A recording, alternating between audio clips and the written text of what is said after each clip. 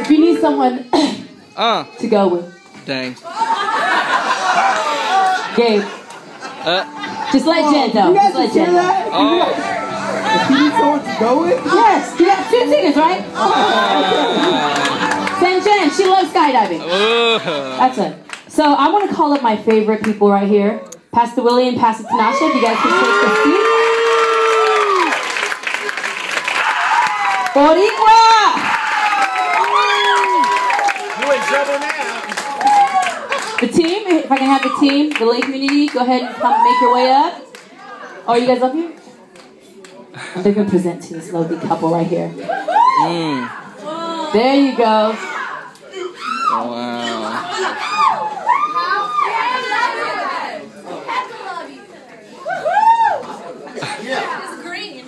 Yeah.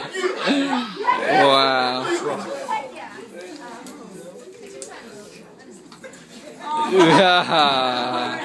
These are my lay pastors. Uh, I've only been in your group for like two weeks, but um, thank you for making cupcakes that match my t-shirt. yeah. No, um, I, I just for the time that even you've you've been over me, um, I just feel so loved. You know, I just feel like I came home to like my parents. Like every time I walk down the hallway, you guys look at me like I just came home from college. you guys are like, I Uh, just so loud. Like you're so proud of me. I haven't done anything yet, but um. Um, and, and, and thank you. You guys text me all the time, and just to make sure that I'm okay. Like even if I don't text back, like I just thank you. Mercy. I'm really bad. I'm really bad at getting back. I'm so sorry. Um, but um, I can speak on behalf of the whole group and just say our lives have been so heavily impacted by the both of you, and just kind of you know just the way you live your life, and we love you. And so here is. It looks like an Easter basket.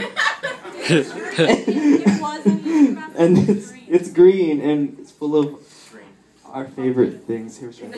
So, because Lorenzo hasn't been to one of our gatherings yet, we all know that we love board games and just games, and we're a really competitive lay community. Um, everyone else who visited that game night, you know. Um, so we got you this game. Um, it's not really a competitive game, but it's a fun game, the game of things.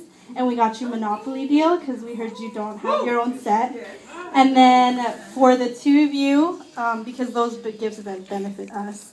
Um, but the other benefit the two of you, we got you um, a $50 Cheesecake Factory gift card. And you can make it dinner and a movie because we got you two AMC tickets and a babysitting coupon because you can leave it with